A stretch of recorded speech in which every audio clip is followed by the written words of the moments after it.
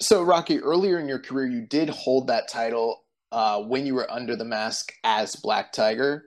Um, this past year, we've kind of noticed, you know, all throughout the strong tapings, you bringing the Black Tiger mask out, you know, with you.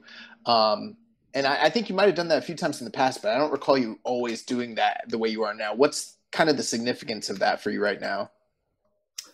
Um, motivation, motivation. Like like I said, like this year, um, it was hard for me to motivate. Like especially once things started getting canceling, and then you know, thank God we had you know, uh, a year ago we had strong. I should say really it started last year. So and then like there's been trickles of it, you know, and, and uh, for me, but like I don't know, I just kind of found myself in like a, in a personal kind of slump of like where like where's like my long term. I mean, because like I feel like obviously there's so many younger wrestlers and like guys who need the time this time to kind of like blow up and prosper you know but like uh, I, I, I feel like you know I'm I'm still the guy that everybody forgot about, and especially like without having the Super Junior.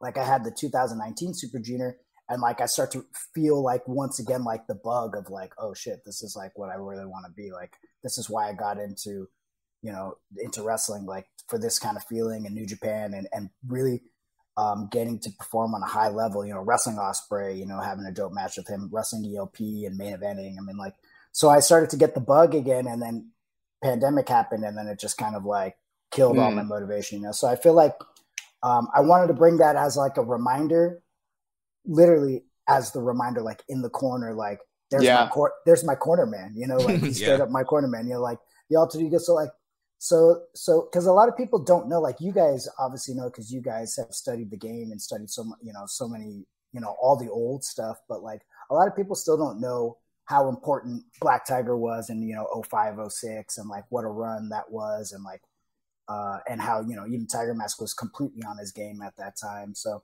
yeah, I don't know. It's kind of like the forgotten. It's kind of like the, one of the forgotten eras in uh, in New Japan was that 05, 06 era. You know right before yeah. it started to blow up again. So, um, so yeah, I mean, like I was popular when shit wasn't really popular, so.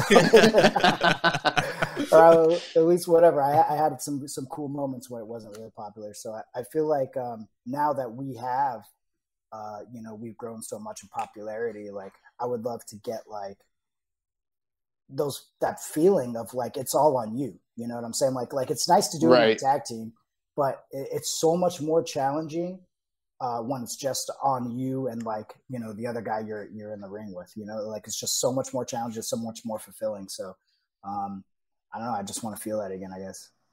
Yeah, definitely.